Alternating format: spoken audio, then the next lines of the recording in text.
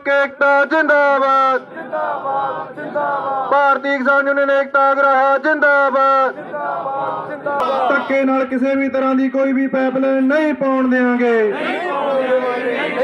ਲੋਕ ਏਕਤਾ, ਜਿੰਦਾਬਾਦ।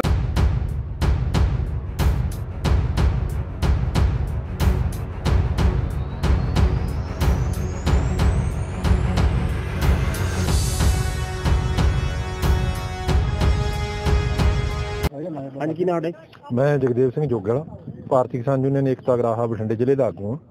ਕੀ ਮਾਮਲਾ ਸਾਰਾ ਇੱਥੇ ਅੱਜ ਸੰਘਰਸ਼ ਕਰਨਾ? ਮਾਮਲਾ ਜੋ ਅੱਜ ਪਿੰਡ ਗੌਰਿਆਣ ਦੇ ਅੰਦਰ ਪਾਈਪਲਾਈਨ ਦਾ ਮਸਲਾ ਹੈ। ਪਾਈਪਲਾਈਨ ਤੜਕੇ ਇਹਨਾਂ ਨੇ ਜੀਬੀਸੀਆਂ ਲਿਆਂਦੀਆਂ ਭਾਰੀ ਫੋਰਸ ਲੈ ਕੇ ਇੱਥੇ ਡੀਐਸਪੀ ਸਾਹਿਬ ਪਹੁੰਚੇ ਹੈ। ਉਹ ਧੱਕੇ ਨਾਲ ਜਿਹੜੀ ਇਹ ਪਾਈਪਲਾਈਨ ਹੈ ਉਹ ਟਪਾਉਣਾ ਚਾਹੁੰਦੇ ਸੀ।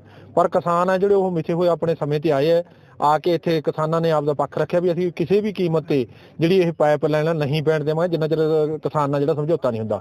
ਕਿਉਂਕਿ ਉਹ ਸੀਐਮ ਮਾਨ ਨਾਲ ਜਦੋਂ ਆਪਣਾ ਕੀ ਕਹਿੰਦਾ ਸੰਗਰੂਰ ਦੇ ਅੰਦਰ ਮੋਰਚਾ ਲੱਗਿਆ। ਉੱਥੇ ਵੀ ਇਹ ਸੀ ਵੀ ਯਾਰ ਜਿੱਥੇ ਕਿਤੇ ਵੀ ਕਿਸਾਨਾਂ ਨਾਲ ਟਸਰ ਪੈਂਦੇ, ਚਾਹੇ ਉਹ ਸੜਕ ਵਾਲੇ ਮਸਲੇ ਤੇ ਆ, ਚਾਹੇ ਪਾਈਪਲਾਈਨ ਵਾਲੇ ਮਸਲੇ ਤੇ ਆ, ਉਹ ਬੈਠ ਕੇ ਅਸੀਂ ਹੱਲ ਕਰਾਂਗੇ। ਪਰ ਅੱਜ ਤੜਕੇ ਇਹਨਾਂ ਨੇ ਨਾਕੇ ਵੀ ਲਾਏ ਆ, ਪਿੱਛੇ ਕਿਸਾਨਾਂ ਨੂੰ ਰੋਕਿਆ ਵੀ ਆ, ਉਦੋਂ ਬਾਅਦ ਅਸੀਂ ਚੇਤਾਵਨੀ ਦਿੱਤੀ ਹੈ ਪ੍ਰਸ਼ਾਸਨ ਨੂੰ ਵੀ ਜੇ ਸਾਡੇ ਕਿਸਾਨਾਂ ਨੂੰ ਰੋਕ ਲਿਆ, ਇੱਥੇ ਹਾਲਾਤ ਆ ਜਿਹੜੇ ਉਹ ਵਿਗੜਨਗੇ। ਇਸ ਕਰਕੇ ਤੜਕੇ ਆ ਕੇ ਇਹਨਾਂ ਨੇ ਉਹ ਕੋਸ਼ਿਸ਼ ਵੀ ਕੀਤੀ ਹੈ ਪਰ ਜਦੋਂ ਇਧਰੋਂ ਕਿਸਾਨ ਵਾਲੇ ਆਪਦੀ ਆਈ ਤੇ ਆਏ ਆ, ਫਿਰ ਇਹਨਾਂ ਨੂੰ ਪਿੱਛੇ ਹਟਣਾ ਪਿਆ।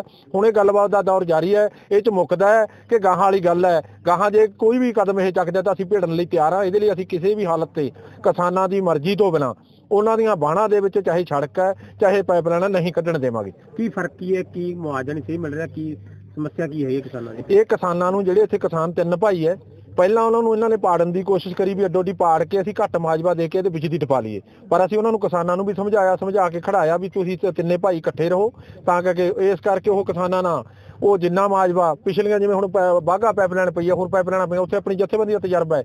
ਜਿਹੜੇ ਰੇਟ ਉੱਥੇ ਆ ਘੱਟੋ ਘੱਟ, ਉਸ ਰੇਟ ਤੇ ਵੀ ਨਹੀਂ ਆ ਰਹੇ ਇਹ, ਉਦੋਂ ਵੀ ਥੱਲੇ ਜਾ ਰਹੇ ਆ, ਕਿਉਂਕਿ ਕਿਸਾਨ ਇਹਨਾਂ ਨੂੰ ਪਤਾ ਹੈ ਵੀ ਜੇ ਕਿਸਾਨਾਂ 'ਚ ਫੁੱਟ ਪਾਵਾਂਗੇ ਤਾਂ ਅਸੀਂ ਕਾਮਯਾਬ ਹੋਵਾਂਗੇ, ਪਰ ਕਿਸਾਨ ਆ ਜਿਹੜੇ ਇੱਕ ਜੁੱਟ ਹੋ ਕੇ ਖੜੇ ਹੋਏ ਆ। ਹੁਣ ਜਿਹੜਾ ਪਾਈਪਲਾਈਨ ਦਾ ਮਸਲਾ ਹੈ, ਜਿੰਨਾ ਚਿਰ ਉਹ ਕਿਸਾਨ ਨੂੰ ਖੁਸ਼ ਨਹੀਂ ਕਰਦੇ ਹਰ ਹਾਲਤ ਅਸੀਂ ਨਹੀਂ ਪੈਣ ਦੇਵਾਂਗੇ ਜੋ ਮਰਜ਼ੀ ਹੋ ਜੇ।